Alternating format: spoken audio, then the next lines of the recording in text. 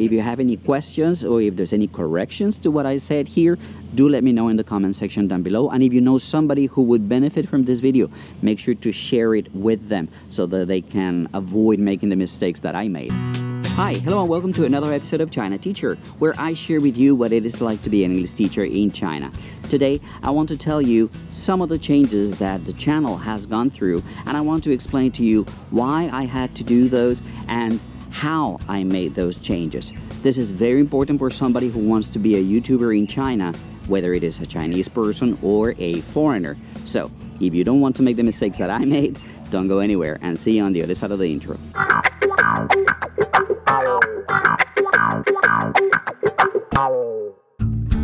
Welcome back guys. Well, the first thing to say is that about two and a half, almost three months ago, I became eligible for monetization in my channel. I reached the 1,000 subscribers. Now I'm at almost 1,600 and um, I reached the 4,000 minutes or hours, I don't remember, of watch time required for monetization. So when you reach that level, you get an email or you get a notification saying that, well, you should submit your channel for scrutiny for the YouTube team to determine whether the content is uh, good for advertisement or not. So I did that. And in that process, they also tell you that you should add or you should open an AdSense account. Sorry guys, it's really, really hot here in Dongguan, even though it's the end of summer already. And well, that's exactly what I did. I went to Google AdSense and I opened a new account and I got a customer ID or publisher ID. Now, YouTube tells you that this process of, of well, checking your, your YouTube channel takes within a month and then you'll be notified whether you are approved or not as a YouTube partner. But it's been way longer than that and I haven't received any answers. So I went in to the, the back stage, the back side of YouTube and I started digging, trying to find out what the situation was, what the problem was.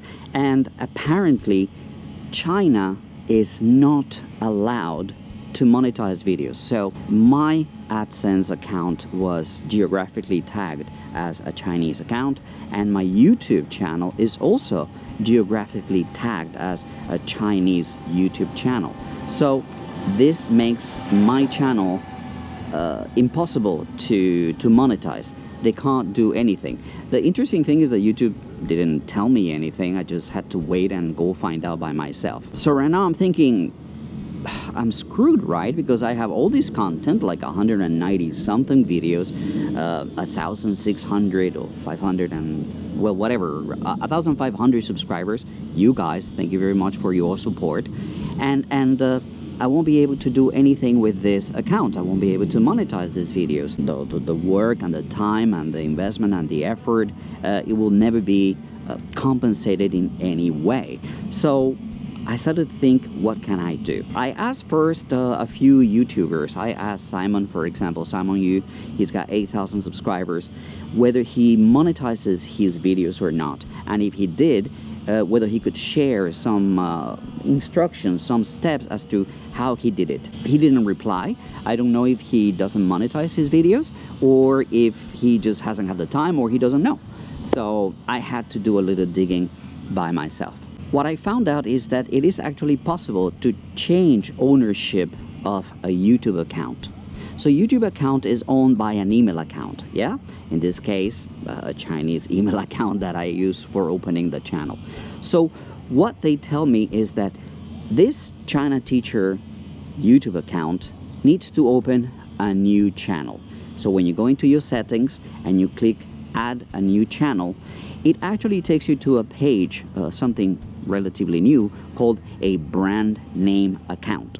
So that brand name account is more like an umbrella that can hold several um, channels within that brand name account. Now, obviously, my Chinese email owns China Teacher, and now China Teacher owns that China Teacher brand account. So I'm still in trouble, right? But the benefit or the advantage or the feature that I was going to use is that you can actually create a co-owner for your brand name account. That co-owner needs to be another channel. So what to do? Go create another channel. How do you create another channel? Well, you need to create another email. So that's what I did. I went ahead and I um, created another email. I created another YouTube, um, YouTube account, and then China Teacher Brand invited that new YouTube channel and the new email.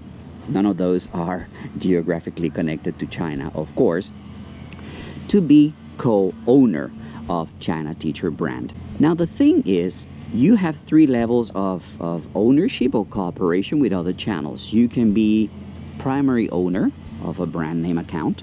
You can be just co-owner or you can be manager. So at this stage, at this point, everything is primary owned by China Teacher.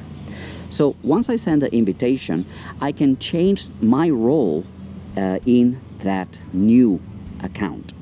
So you click, oh, I want this co-owner, this new co-owner, to become the primary owner of the China brand umbrella account. So that's what I did. This change takes about one day. They say that you need to wait 24 hours for a new co-owner to become primary owner. So after these 24 hours, you go ahead and you click change this uh, new co-owner to become the primary owner of the China brand, China teacher brand, and then that new primary owner can delete other co-owners. So right now, this new email account, this new YouTube account is the owner of the China Teacher brand, which in turn owns China Teacher. So it's all being transferred to a completely different email.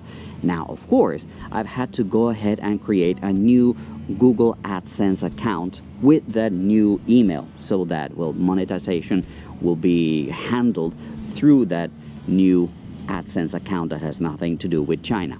The thing is that Google AdSense takes about two weeks to review the application. So I don't have the answer right now whether this is going to work or not, but this is what I have seen other people do.